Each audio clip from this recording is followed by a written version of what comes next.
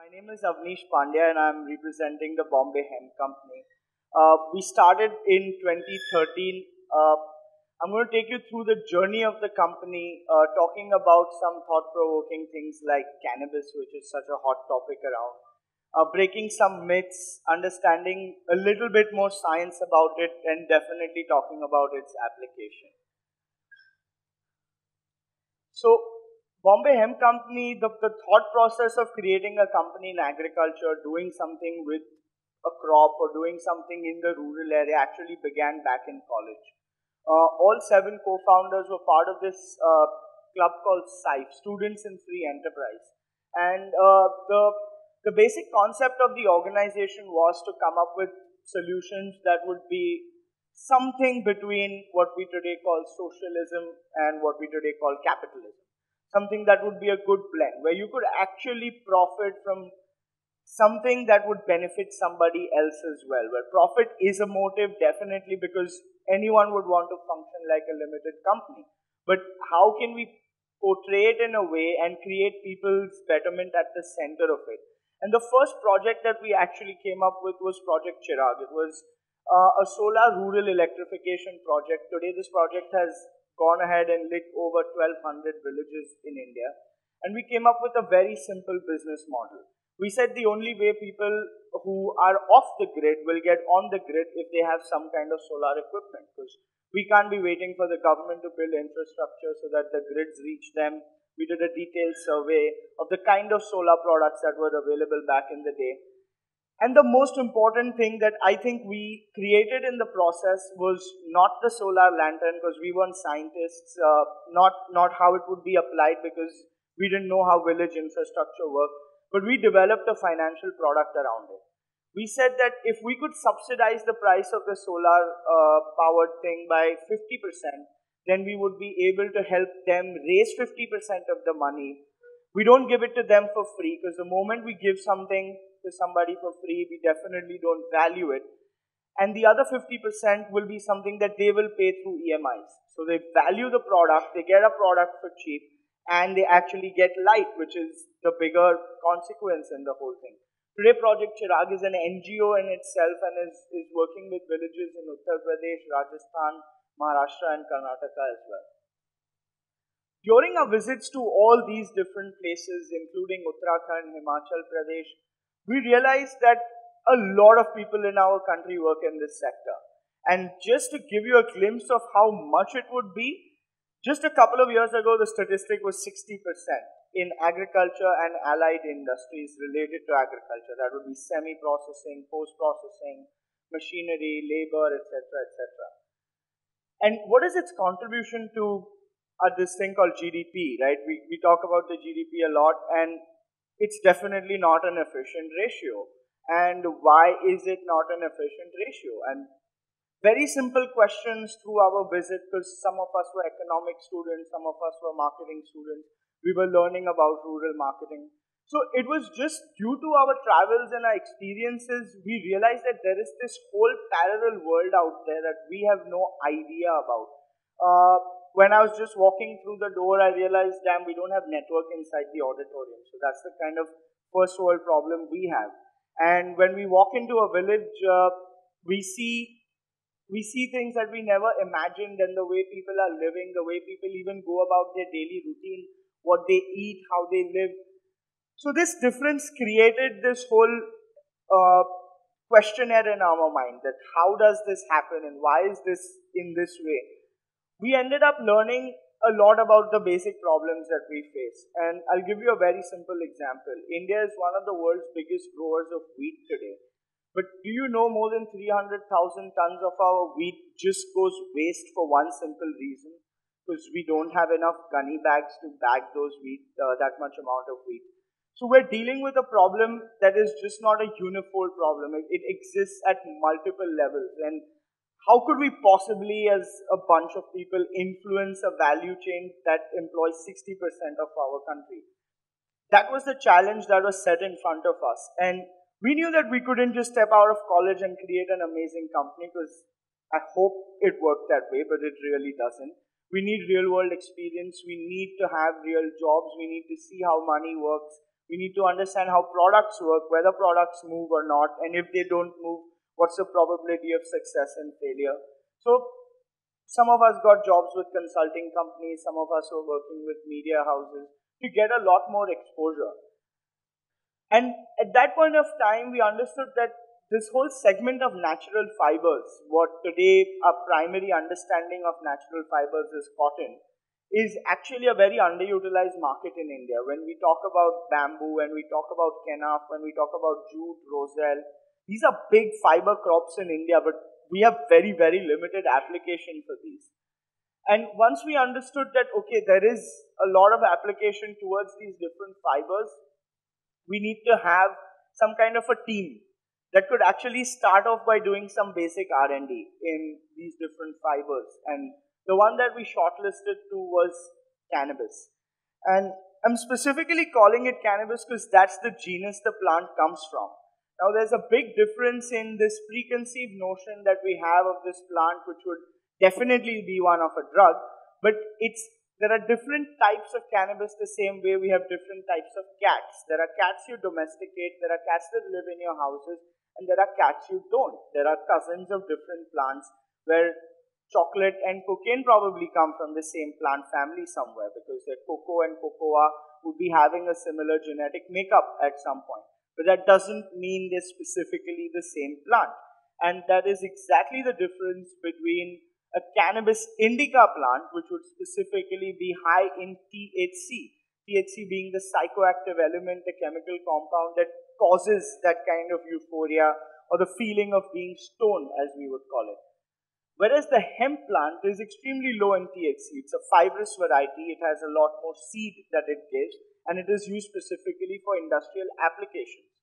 Now, hemp was very interesting for us because A, it had a massive history uh, specifically with any country that ever went to war or ever needed to build a resource quickly, they needed hemp essentially. Whether we're talking about uh, Napoleon's invasion to Russia or we're talking about uh, uh Hitler fighting the war or America fighting the Second World War. Uh, in fact, hemp uh, has been the oldest cultivated crop known to mankind. It's since more than 6,000 years ago, we've been cultivating hemp and we've been using it for a lot of different purposes. Uh, in fact, Henry Ford's first car, the T model, was designed around hemp fibers and was pro uh, proclaimed to be 10 times stronger than steel. It was also designed to run on hemp fuel. Uh, a lot of different nuclear disasters across the world uh, that have completely left the soil uh, in an unusable condition. There's a, a specific term in science which we call phytoremediation so we are remediating the soil using hemp because of its root structure and the way it can get rid of the toxins in the soil.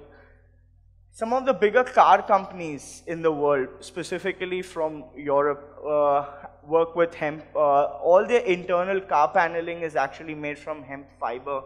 And it would be a shock, right, that all, everything we considered about cannabis that would be a drug would actually be present in a car that way. Uh, Currently, hemp is a $38 billion uh, global industry, primarily based out of the US, China, and Europe. It's definitely coming up in India with all the research that we are doing. Hemp can make specific grades of graphene like carbon. At the same time, cannabis is currently being studied as a medicine in different countries and what is happening with it a range of big companies as all the consumer companies that we would call already work with hemp. And we have a very good example with the body shop. So while me and a few of my colleagues were traveling in Uttarakhand, we saw this female use hemp seed oil, because hemp is a native crop of Uttarakhand. And uh, she was using this hemp seed oil to get rid of her stretch marks. And she was applying it on her skin and everywhere. And we just happened to ask the locals, what oil is this? Why are you applying this oil? And they said this specific oil helps them in remediating their skin, the dead DNA, and helping them regenerate their DNA in some way. And then we come back to Delhi to get a train back to Bombay, and we, in Delhi, we in a shopping mall, we see hemp-based moisturizing creams by the Body Shop. And that was the aha moment that there are people in our villages who know of all these amazing things because of their indigenous techniques. And we have Western big businesses who've been able to actually put that and box it in a product uh, which we buy aspirationally. So that whole transition of what indigenously exists to how uh, how a Western concept is modified, because I come from a marketing background, so that's an important thing for me. How it is modified and sold out. Like when we were told to have haldi ka doodh at home when we were young, we used to you know say, no mom, I'm not going to have it. But today we have uh, some of our colleagues traveling different parts of the world and turmeric latte is so much better than haldi ka doodh. So this was one of, one of those aha moments of realization that how some of our indigenous things are maybe what these big companies are copying. And then we actually break down what are the total number of uses that hemp has. Because of its nature as a seed and a fiber crop, it can be applied in a host of industries. And India definitely has a lot of its own wild and feral hemp. But we don't have our own standardized versions of hemp. Like we have standardized varieties of rice, we have standardized varieties of wheat because these are cultivated crops. Hemp is primarily a wild and feral crop which now we're bringing to more of a domesticated manner. As, as we talk about different countries and different economies, we can look at China, which is one of the world's biggest hemp growers. More than two and a half million Chinese farmers grow hemp. Uh, Hemp is one of the biggest commodities that is single-handedly procured by the Chinese PLA because of its fiber applications. Their bed linen, their socks, their clothes, everything is made from hemp. Uh, some of the bigger uh, fashion brands in Italy definitely grow their own hemp because they process it as textiles. So the shirt I'm wearing currently is a 100% hemp shirt. It's made from the bast fiber of hemp. Uh, Countries like Slovenia use hemp as a source of pulp uh, because it has a high cellulose content.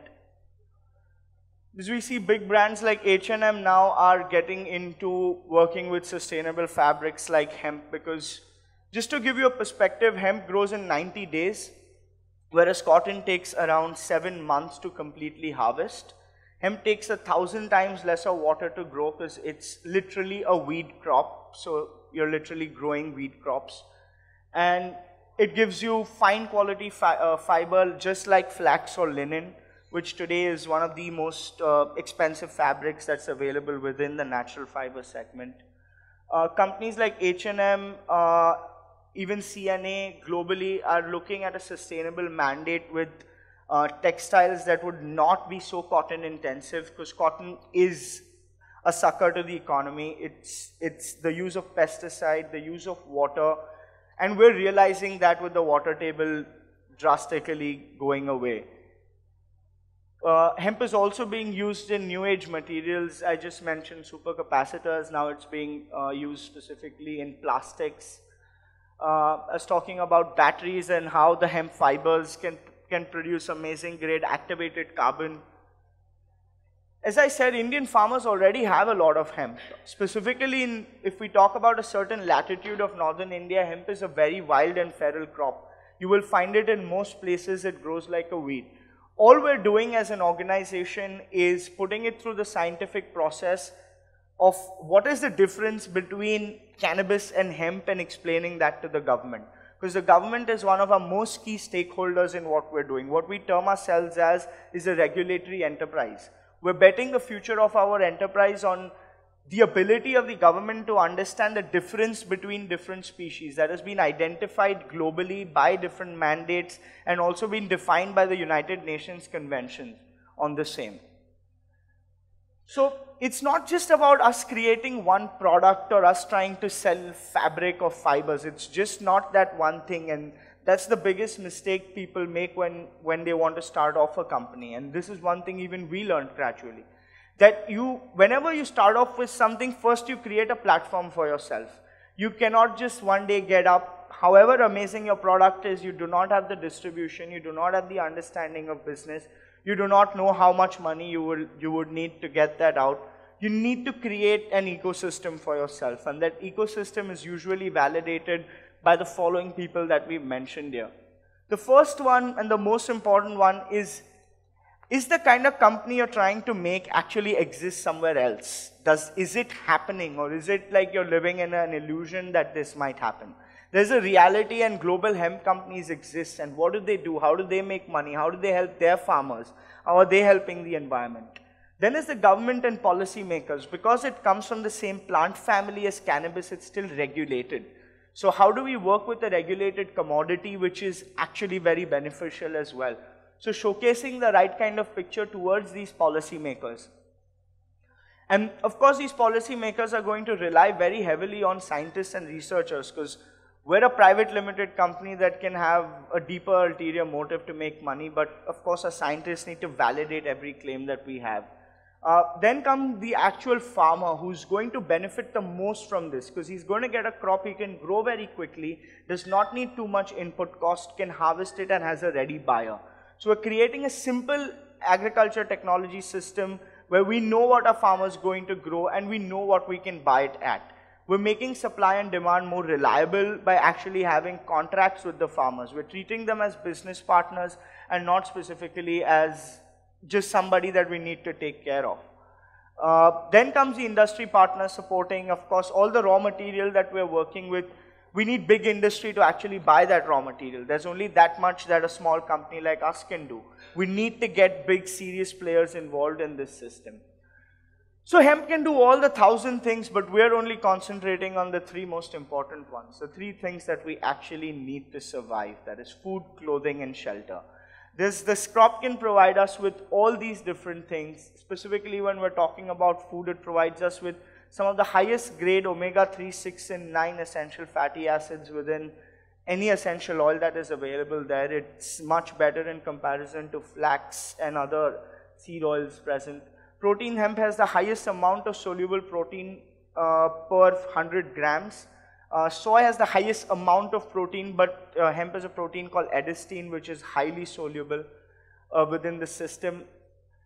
Uh, definitely, hemp is becoming a big uh, product in the superfood category globally, along with flax, quinoa, chia, and a lot of others. Uh, clothing, as, I'm, as I told you, I'm wearing a hemp shirt. There are a lot of different variants of hemp that are present, different blends, you can blend it with silk, you can blend it with yak hair, you can blend it with cotton, a lot of different fibers you can blend it with. Uh, hemp currently is 2 to 3% of the world's textile market, so it is definitely a small niche, but China is picking up, European countries are picking up, and it's time for India to begin doing something as there. So the hurd, hurd fiber, which is like the soft wood of the plant, can be chipped and mixed with the right kind of lime aggregate to create an amazing building material. We're doing this project with IIT uh, in Delhi right now and processing the fiber to create a building aggregate that would actually absorb carbon. So we have a carbon negative home that is actually absorbing carbon, impro improving thermal efficiency, and all of this is from literally agriculture waste. Because of uh, the nature of our work, where we're dealing with this questionable commodity in some way, uh, we, we have been quite present in the news and the media. And we've actually been invited by a lot of different state governments to talk about hemp and cannabis. And uh, definitely the two to three state governments that would come to mind are Himachal Pradesh, Jammu and Kashmir, and Uttarakhand. These three states have widely growing cannabis, either cultivated by the locals for their indigenous uses or uh, harvested by the farmer from the wild and they wanted to understand that there is a big drug problem with this. How can we deal with this drug problem? Because overnight you cannot replace a crop. Yes, we understand that people in the mountains do make some things out of it which are sold in the black market as narcotics, and that's a very established fact. But the reality of the fact is you can't get rid of it overnight, and you cannot cut all those plants away because there are millions of hectares of that. So you better be able to find a real use to it rather than thinking of it as your only problem. Because sometimes the way you have to look at the solution is the way the problem is structured. If you cannot change the whole problem, then you got to probably change the way you look at it. And that's what we did with a lot of different state governments. Today, the state government of Uttarakhand, with all the power of science and the power of persuasion we had, the state government of Uttarakhand actually has a proper policy for its farmers to grow hemp that the genetics have to be studied by a state government research institute, they have to be approved, and then that approved model can then be given to the farmer and he can scale it up. And this system was created after two to three years of deepened understanding of how the Chinese are working with their farmers, because it still could be that the question is, okay, what if somebody grows an actual cannabis plant in the middle of all these plants? Then what will you do? But that's scientifically proven that the genetics that we are providing for our farmers to grow this crop would not create those cannabinoids. So we're dealing with something that's scientifically proven and safe enough. This is some of my colleagues with uh, the then Chief Minister, Mr. Harish Rawat, in the state. Now, because we're working with such a questionable commodity again, uh, the important viewpoint of different government think tanks and stakeholders is also very important. We were privileged enough to meet with Dr. Bibek Debroy, who's uh, a permanent member on Niti Aayog, which is uh, India's premier think tank. And we had a conversation with him about on the kind of work we are doing. And uh, post our conversation with him, he actually came out with his own uh, op-ed in the Indian Express called The Cannabis Dilemma. And he specifically talks about how we really need to look at cannabis in a different way. Yes, it has been a problem, it is a drug menace, but there are good uses to this plant and how can we bring the good uses to this uh, plant in the forefront. And another big supporter uh, in the same way turned out to be uh, Mr. Tathagat Satpathy. He's currently a member of parliament from Odisha. And uh, we just wanted to understand that what do our parliamentarians think of hemp? You know, they come from a lot of constituencies that grow bhang locally. So they would be very acquainted with what hemp is. And uh, to our surprise, uh, when we gifted Mr. Satpathy a small kurta, when he wore it to the parliament, he actually spoke about it. And we had 15 other parliamentarians wanting to wear a hemp kurta because there was local bhang that grew in their village. And they had no idea that this fiber could actually make them something useful. And that's how slowly we're seeding a bigger thought into these people. We're influencing policy while we're working at a very, very small level. None of us have any political influence, but one thing we did take time to understand is how a bureaucracy works. Because all of us spend time, you know, thinking uh, extremely critically about how we are so corrupt and how everything is so difficult to do. Definitely it is difficult to do. Because you have an opportunity to serve 1.3 billion people, I think they have every right to be difficult to you. And if you can get in through the right channels, you can influence the right kind of people because there's always a bureaucrat who will understand your language. If you are educated, so is the bureaucrat an educated guy, and he just needs to understand it from his perspective. And as we heard in the previous talk about givers and takers, it's a lot related to that concept as well. That's how we began working with a lot of different government ministries. For a startup company to work with so many different government ministries is unheard of. But today we have a network, uh, today, today we have a network of bureaucrats ranging from the Indian Administrative Services to Revenue Services. We have people, including members of parliaments and bureaucrats within states who know what hemp is, who are working on policies related to hemp. And why are we actually doing all of this? What is the ulterior motive? And we try to sum it up in a very simple way. We we, we split all our efforts in three directions. Uh, the first one being the community, the second one being the environment, and the third one being profit. Companies of tomorrow are not going to be built the way companies of yesterday's were. We have different metrics to judge our success, and shareholders' profit is not the first one. And so happens that we're a private limited company. We're not an NGO. We don't do this because we just feel good about it. We actually want to create a sustainable business. And some of us have also had experience in the NGO space, and it's really difficult to have a sustainable flow of funding till you don't have impacts, actually impacting people's lives. And some people have already experienced that in that case. So, very simple motive. Before we actually started growing hemp and everything, the first thing we did is we started helping a bunch of weavers in Uttarakhand to start weaving hemp so that we can spread the message of hemp by, which is written by these local weavers, using their own Bageshwari charkhas and spreading the message out. And we could not do all of this till we did not actually get some gray hair experience on board. Because it's not just that seven of us envisioned this and we had, we had the political tact and understanding of how we talk to bureaucrats, how we work with them. We could not have generated that knowledge amongst self. It was very important for us to get people who've done real stuff in their lives, who have that kind of positive influence and say in policy, and also understand the impact of something like this at a multifold level. And as you see, some of these people are extremely well positioned in their careers to be able to offer assistance to companies like ours. Then we actually did a simple exercise with the Ministry of Textiles. The report is going to be soon released. What is the benefit of hemp to the Indian economy? And we said that, okay, hemp might have multifold uses, but let's just concentrate on one industry and try to value it. I think this number is around 240 crores. Only if we use hemp that is limited to the feral quality outside positively to help our people. And only from one state, which is from the state of Uttarakhand.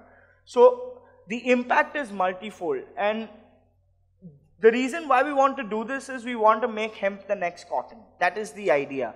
Cotton is not an indigenous crop. It has come from outside and there's a lot of different vested groups in cotton that are profiting drastically from it.